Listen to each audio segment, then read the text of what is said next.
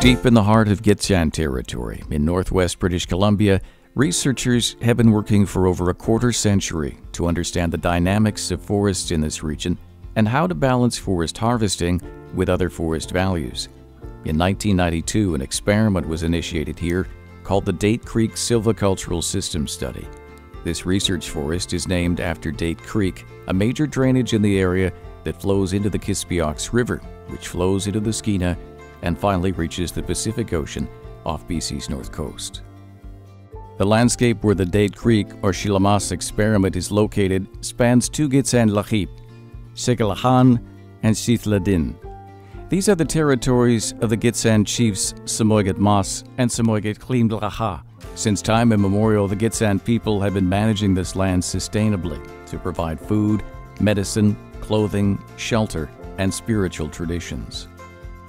Like other operational scale forestry experiments of its era, the Date Creek experiment was a response to increasing public disapproval of industrial forestry in the 1980s in BC. There was a growing interest in finding alternatives to large clear cuts. The purpose was to help land managers understand the trade offs at the stand scale between different levels of timber harvest and other values such as wildlife habitat, medicinal plants, wild foods, aesthetics, carbon sequestration, water quality, and biodiversity.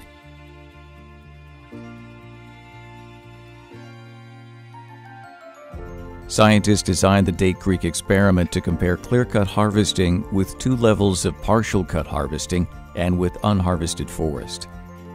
In the clear-cut treatment, almost 100% of the trees were removed.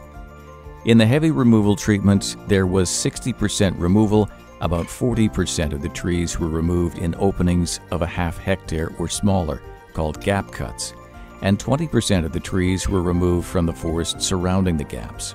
In the light removal treatment, there was 30% removal. The trees were mostly removed in very small gaps or by single tree selection. Each treatment was replicated in four stands of around 20 hectares in size across the landscape. The interior cedar hemlock forests at Date Creek have nine different tree species, which is more than most forest ecosystems in BC. Unharvested forests here are dark in the understory, with only about 12% of the light above the canopy reaching it. This is not enough light for most other plant species, so feather mosses dominate the forest floor. Hemlock makes up about 80% of the canopy. It is a prolific seed producer and produces seed every year. Seedlings are able to survive in low light, and they aren't susceptible to some of the diseases that kill young trees of other species. Mature hemlock trees are very strong competitors, shading out other tree species and outcompeting them for underground resources too. Even hemlock seedlings, however, have a difficult time germinating through the thick carpet of feather mosses covering the forest floor. Moist mineral soil is the best seedbed, but a disturbance is needed in order to uncover it. Disturbances are a natural part of forests, and although fire is the dominant stand replacing disturbance at Date Creek, wind is the most common disturbance. There is often concern with partial cutting systems that the trees left in the stand will just blow over, so wind throw has been monitored over time at Date Creek.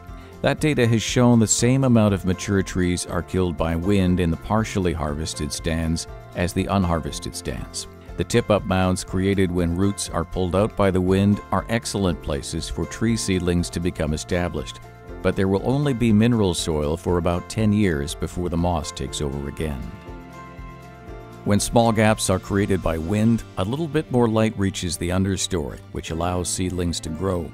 Describing the growth and survival rate of various species in different light and soil resource environments was a big part of early research at Date Creek.